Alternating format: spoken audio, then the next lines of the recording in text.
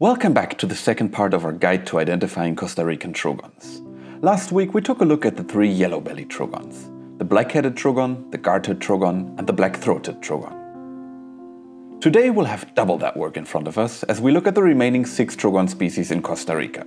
But fear not, trogons are very friendly birds, with nice and easy identification. So let's jump in. Before we get started, I encourage you to have a look at the first video of the series, because there I go over the critical field marks to look for in trogon identification. Remember, you want to look at five things. Head color, bill color, eye ring, undertail and wing coverts. But let's start with the elegant trogon. This beautiful bird occurs in the dry Pacific lowlands and foothills, where it hangs out in the middle and upper level of trees. The male is Costa Rica's only red-bellied trogon with an orange eye ring and a yellow bill. It has a very fine barring on the undertail. Its green head is separated from the red belly by a white chest ring. The female has a grey head and a light grey chest with a red lower belly. It's the only trogon in Costa Rica with a whitish patch behind the ear. The croaking call of the elegant trogon doesn't quite reflect its name.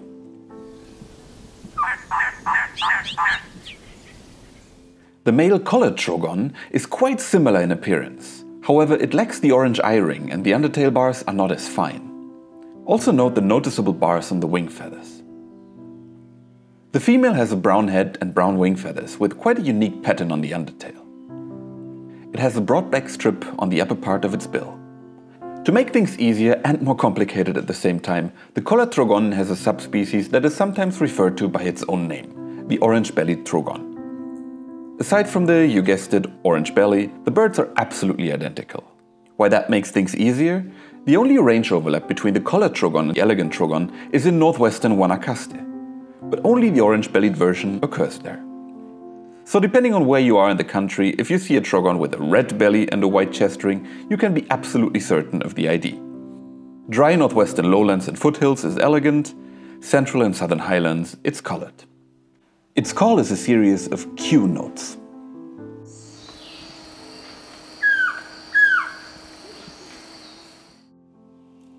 Moving on to Baird's trogon, which is endemic to Costa Rica and western Panama. It only occurs in the southern Pacific lowlands and foothills. It is the only red-bellied Costa Rican trogon with a blue eye ring and a blue-gray bill. The male has a dark blue head and solid white undertail feathers with a black tip. The female has a grey head, barred undertail and finely barred wings. Its call is a series of high-pitched chucks.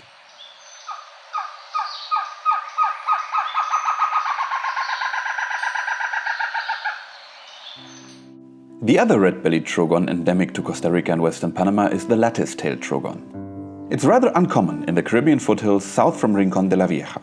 It's the only trogon in Costa Rica with a pale bluish iris. That's iris, not eye ring. The male has a green head, but no chest ring separating it from the red belly. The undertail is dark with fine white barring. The wings are also very finely barred.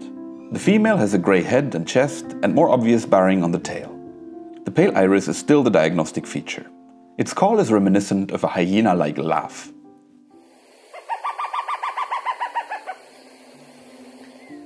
The slaty-tailed trogon looks somewhat similar, but it lacks the pale iris and has a completely unpatterned dark undertail. The male has a green head, a dark red eye ring that, depending on the light, may or may not be noticeable, an orange bill and fine bars on the wing coverts. The female also has an orange bill, but the upper mandible is black. It has a grey head and chest, and no barring on the wing coverts. The slaty-tailed trogon is quite common in the wet lowlands and foothills on both sides of the country. Its call is um, kind of like a barking chihuahua.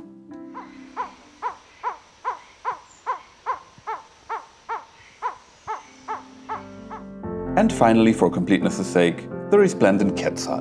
This trogon is pretty much unmistakable, and if you're a birder visiting Costa Rica, you're probably very familiar with its appearance. And everyone should be, it's simply marvelous.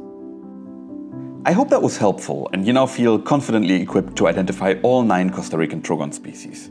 If you still need a little help, don't worry, we've got you covered. I'll drop this very cool Trogon ID sheet on our website and I'll post the link in the description. No email, no sign up, no nothing. It's all yours. Thanks for watching, see you soon, and happy birding. Ciao!